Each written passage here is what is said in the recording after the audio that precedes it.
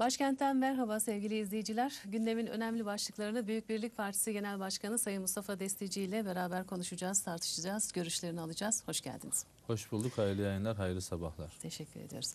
Evet gündemde çok başlık var aslında. Ee, terör var, başbakanın gezisi var, NATO toplantısı var, ek- e, ekonomik anlamda memurların beklentisi, hükümetle görüşmeler var. İsterseniz başbakanın açıklaması ve Uludere ile girelim. Tamam. Evet Sayın Başbakan biz yetkiyi verdik. Türk Silahlı Kuvvetleri kullandı. Benim olaydan sonradan haberim oldu dedi. İstihbarat bu kim verdi kim vermedi tartışması alıp başına gidiyor. Siz bu olaylara nasıl bakıyorsunuz? Uludere'yi nasıl değerlendiriyorsunuz? Ben öncelikle mübarek üç ayların milletimize, e, İslam alemine hayırlar getirmesini Yüce Allah'tan niyaz ediyorum. Biliyorsunuz üç aylar Girdik evet. e, İslam e, inancına sahip Müslümanlar için, bizler için çok önemli aylar. İçerisinde 11 ayın sultanı Ramazan'ı da, Kadir Gecesi'ni de barındırıyor. Ramazan bayramını da barındırıyor. Onun için bütün İslam aleminin ve ülkemizdeki Müslüman kardeşlerimin, dindaşlarımın mübarek üç aylarını tebrik ediyorum. Üç ayların hem memleketimiz için hem tüm İslam alemi için İslam alemindeki bu emperyalist sömürünün sona ermesine, mazlumların mazlumiyetinin sona ermesine vesile olur, hayırlar getirir niyazında bulunuyorum. Evet gerçekten e, ülkemizde hem iktidar hem de meclis muhalefeti, e, başta ana muhalefet tabii muhalefetin başında olmak üzere e, gerçekten milletin e, gerçek gündemiyle değil de iktidar tarafından oluşturulan veya suni gündem diyebileceğimiz her ikisinin de işine yarayan e, gündemi veya normalde bir gün iki gün konuşulması gereken e, bazı konuları aylarca konuşarak bunu sürdürerek e, Türkiye'yi gerçek gündeminden Yani uzaklaştırıyorlar. biraz Uludere bu, uzadığını e, mı düşünüyorsunuz? Bu çatışma e, alanı e, oluşturuyor toplumda ve bu gerginlikten de beslendiklerini düşünüyorum. E, ben anayasayla ilgili de söyledim. Yani biraz sonra o konuya da gireriz. E, mevcut anayasayı değiştireceklerine de hiçbir şekilde inanmıyorum. E, çünkü bu anayasadan besleniyorlar, bu sistemden besleniyorlar. Hem iktidar hem ana muhalefet hem meclisteki diğer muhalefet ikisi de buna dahil. E, dolayısıyla da ben e, bu konularda da samimi yani ülke için, millet menfaati için siyaset üretildiğini veya konuların bu zeminde tartışıldığını düşünmüyorum. Gündem neden? Bakın, Uludere- söylediniz. Bu e, haberlerin e, çıkış zamanı ile ilgili e, aklınıza takılan herhangi bir soru oldu mu? Çünkü aynı gün gazetelere baktığımızda Obama tarafından predatör, silahlı predatörlere Evet. sıcak bakıldığı haberini görürken hemen yanında e, bu istihbaratın e, predatörler tarafından verildiği haberini gördük. Yani bir karalama ka- kampanyası mı var? Ayrıca e, dünkü toplantıda, NATO toplantısında da Obama'nın geri adım attığını görüyoruz. Önce kongre pek önemsenmiyordu. Fakat şimdi önümüzde kongre var dedi. Yani işte e, bütün e, bunlar dediğiniz e, gündem değiştirme veya işte Türkiye'nin elini zayıflatma e, veya işte e, diğer e, ülkelerin elini güçlendirme, e, iç muhalefete malzeme etme bütün bunlar olabilir ama olayın esası şudur bakın e, bir kere e, yani bu istihbaratın predatörlerden gelmiş olması veya insansız hava uçaklarından, İHA'lardan e, gelmiş olmasının çok önemi olmadığını düşünüyorum. Şundan dolayı öyle düşünüyorum. Bir kere Türkiye terörle mücadelesinde 27 yıldır benim ısrarla vurguladığım ve söylediğim bir şey var. Terör bizim birinci gündem maddemiz ve bitirilene kadar da birinci gündem maddesi olarak kalması lazım. Çünkü terör sadece şehitler vermiyor. 27 yıldır Türkiye'nin başına bela. Yani ekonomik anlamda da. Yani e, geleceğimiz heba oldu. 500 milyar dolar para harcandı. Hani resmi rakamlar 350 milyar dolar ama gayri resmi rakamlar 500 milyar dolar civarında. Ve siz bunu harcı harcarken öbür tarafta son 9 yılda da sadece bütçedeki faize 9 e, 500 milyar para ödemişsiniz. E, orada yatırım yapamıyorsunuz, güvenlik olmuyor. Bir sürü şey var. Yani bunun e, maliyetin 2 trilyon doların üzerinde olduğu bir gerçeği var Türkiye'ye reel olarak, e, kümülatif olarak. E, öbür taraftan siz e, tabii ki dış politikada elinizi güçsüzleştiriyor ve Türkiye sadece 75 milyondan sorumlu bir ülke değil. E, başta Osmanlı bakiyesi topraklar olmak üzere Türk İslam coğrafyasındaki bütün mazlum milletlerin e, gözü Türkiye'de. E, oralara da yardım elinizi uzatmanızı engelliyorlar. Halbuki terör belasıyla Türkiye uğraşmıyor olsaydı bugün Türkiye dünyanın ilk 10 ekonomisi arasında yer alırdı ve Birleşmiş Milletler'de veto hakkı elinde bulunduran bir ülke olurdu. O zaman da Türkiye'ye rağmen bu bölgede, bu coğrafyada hatta dünyanın her noktasında veto hakkını kullanacağı için hiçbir iş yapılamazdı. Peki bu Tamamen önüne geçilmek istenen budur. e, aslında amacına ulaştı mı? Çünkü ben şunu sormak istedim. Obama ilk önce predatörleri vereceğiz dedi.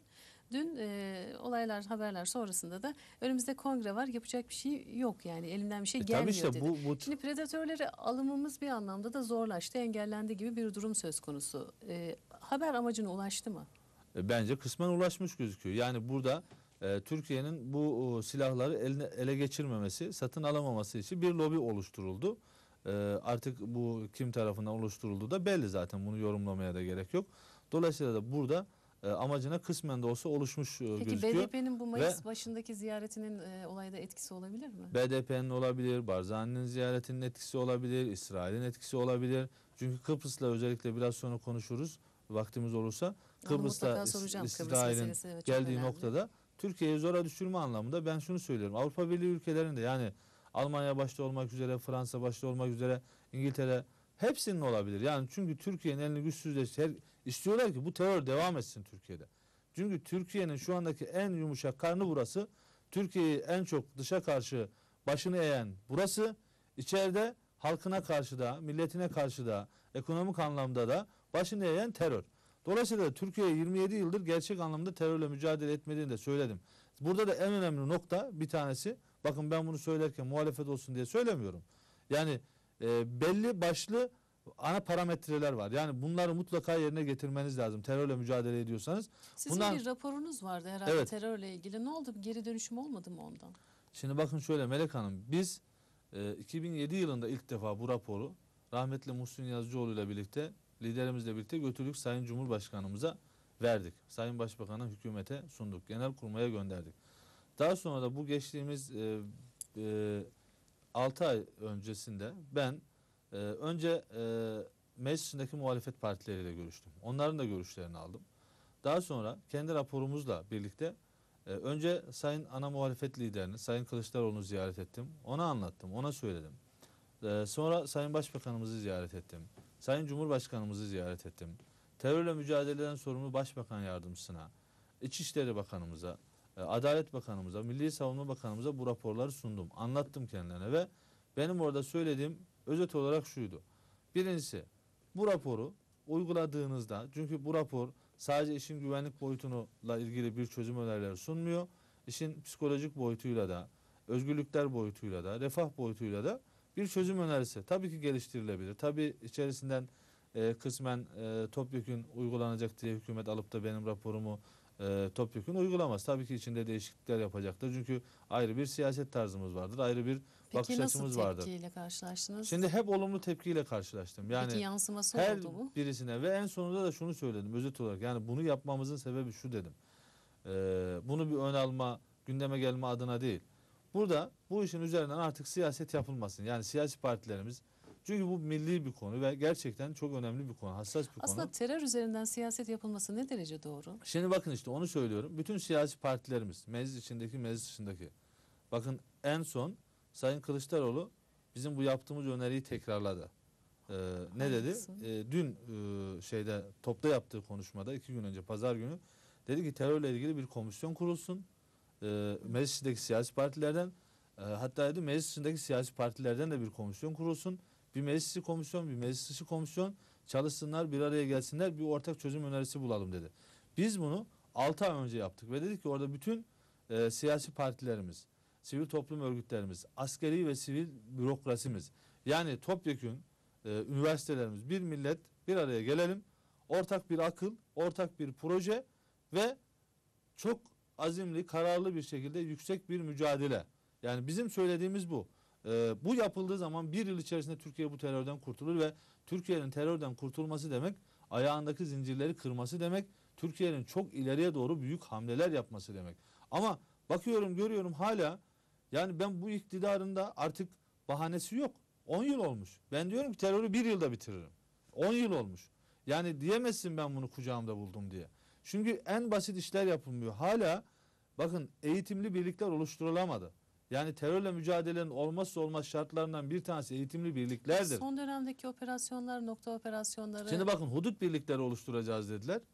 Ee, hudut birlikleri için e, oluşturamadılar. Oluşturamazlar. Ben kendilerine söyledim bu mantıkla olmaz. Yani sen 2000 lira vereceksin. Yani meclisteki şoförüne 4000 lira vereceksin.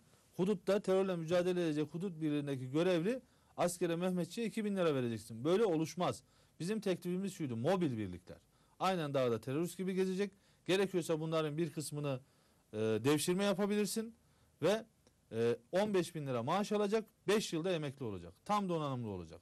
Bizim Aslında söylediğimiz bu. Bu iki gün önceki operasyonlarda birliklerimiz dağda, yaylada kayboldu ve onları aramaya giden ikinci birlik E, saldırıya e, uğradı tamam diye de işte. bir Ben de onu söylüyorum işte. Yani o bölgeyi avucun içi gibi bilecek. Fiziki dayanıklılığı olacak. Açlığa dayanacak. Her türlü silahı kullanacak. Tamam mı? Ya bu 27 yılda niye oluşturulmuyor? Ya ben aklımı kaçıracağım. Bunu anlayamıyorum ya. Yani birliklerimizin dağda yani kaybolması Evet. da çok enteresan bir durum. Ya komedi gibi bir şey ya. Yani işte Sarıya ile Karakoru basıldığında e, ambulans e, askeri helikopterden önce gitti ya. Böyle bir komedi olur mu ya?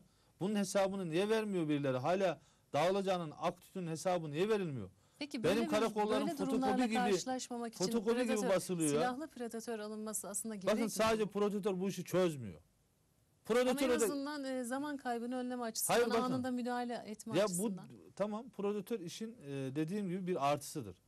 Prodütörsüz de çözülür bu iş. Yani Türkiye bu millet kendi imkanlarıyla bunu çözer. Ya sen kendi uydunu kur sınırını kendi güvenliğine kendi kameralarına sağlasana. E, bizzat yani ben burada isim vermek istiyorum. Devletin en tepesindekilerden biz dinliyoruz birebir görüştüğümüzde. İsrail ve Amerika istihbaratının kendilerini yanılttığını. Peki bu istihbarat Yani paylaşımı konusunda anlaşmamız var. Fakat e, bize istihbarat nereden geliyor, ne kadarını geliyor diye de aslında bir e, şüphe var. Ya- Çünkü e, yandaş e, medyaya baktığımız zaman PKK yanlısı medyada işte onların bazı toplantıları, işte yemin törenleri vesaire meydanlara, alanlara güpegündüz toplanmışlar. Törenler yapılıyor. Bunlar fotoğrafları Evet. basına sunuluyor. Peki bu predatörler nerede geziyor? Bize so- olayı karıştırmak için böyle bilgiyi biz verdik diyebiliyor da bunların görüntüleri hiç mi e, yakalanmıyor? Hangi süzgeçten geliyor da bize e, falanca yerde PKK terörist var diye bilgi aktarıyorlar? Ne kadarını paylaşıyorlar? Şimdi bakın Ya da paylaşıyorlar mı? Şimdi bakın olaya şöyle bakmanız lazım. Sizin kendi iç istihbaratlarınız bile birbiriyle uyumlu çalışmazken bu 27 yıl içerisinde birbirini dönem dönem atlatırken, açığa düşürürken siz nasıl oluyor da İsrail'in ve Amerika'nın istihbaratına güveniyorsunuz? Aslında Biz onun için diyoruz ki özel istihbarat birimi sadece terörle mücadele için MİT'ten de, JITEM'den de, emniyet istihbarattan da bağımsız özel terörle mücadele için özel bir istihbarat birimi ve ağırlığı da insana dayalı olmak üzere. Tabii ki predatörlerden, tabii ki İHA'lardan faydalanırsın. Tabii ki yan istihbarat örgütlerinden faydalanırsın ama onu kendi süzgecinden geçirirsin. Yani yapman gereken bu. Ama bunların hiçbirisi yapılmadı. Yani bakın ben e, geçtiğimiz e, 15 gün önce Almanya'daydım. Son 6 ayda 3 kere gittim Almanya'ya. Orada da söyledim. 11 bin tane PKK terör örgütü üyesinin olduğunu bizzat meclis başkanımızın ağzından dinliyoruz. İçişleri Bakanımızın ağzından. Ya 11 bin tane Almanya'da da söyledim ben bunu. 11 bin tane değil Türkiye'de 11 tane Almanya'ya karşı olan bir terör örgütü üyesi olsa Almanya bize ne yapar? Yani şu Amerika'nın, şu İsrail'in, şu çekiç gücün, şu 27 yıl içerisinde PKK terörüne nasıl lojistik destek sağladığını, silah sağladığını Rusya'nın bilmiyor muyuz ya? Hiçbir şey yokmuş gibi biz bunlara stratejik ortaklıklara, müttefikliklere devam ediyoruz. Böyle terörle mücadele olur mu? Böyle terör bitirilir mi? Ya senin kendi yasal belediyelerinden teröre para aktarılıyor. Onlar orada çalıştırılıyor, istihdam ediliyor. Böyle terörle mücadele olur mu? Bölge halkını yok sayarak, bölge halkını, bizim kardeşlerimizi e, sen PKK'nın kucağına atarak, onları onların temsilcisi olarak karşına muhatap alırsan böyle terörle mücadele olur mu? Terörle mücadele edilmedi. Ben bunu söylüyorum. Bu millet bilsin. Aslında- Ve geldiğimiz noktada şunu söylüyorlar. Bugüne kadar güvenlik bakın e, belki de bu sistemli olarak yapıldı. Bugüne kadar askeri askeri operasyonlar veya askeri e, boyutu, güvenlik boyutu çözüm olmadı. Açılım yapalım. Demokratik açılım yapalım. Ben tam tersini söylüyorum. Bugüne kadar 27 yıldır bu işin e, güvenlik boyutunda da gerçek anlamda mücadele edilmedi. Ediliyormuş gibi yapıldı. Burada bizzat e, bu mücadelenin içerisinde olanların ihanetini de gördük. E, derin işbirliklerinde gördük. İşte bu Ergenekon'la, Kafes'le, Balyoz'la bütün soruşturmalarla ortaya çıkıyor. Ve neticede geldiğimiz noktada artık bu işe dayanacak şeyimiz kalmadı bu milletin. Aslında bu geçen e, Kasım ayında Amanoslar'da kamyon arkasında ele geçirilen e, Amanos sorumlusunun söylediği bir cümle var. Eğer bu işi bitirmek istiyorsanız önce kendi içinizi temizleyin. Tamam. İşte ben onu söyledim. Bakın o e, Amonoslar'da 3 binbaşımız, üsteğmen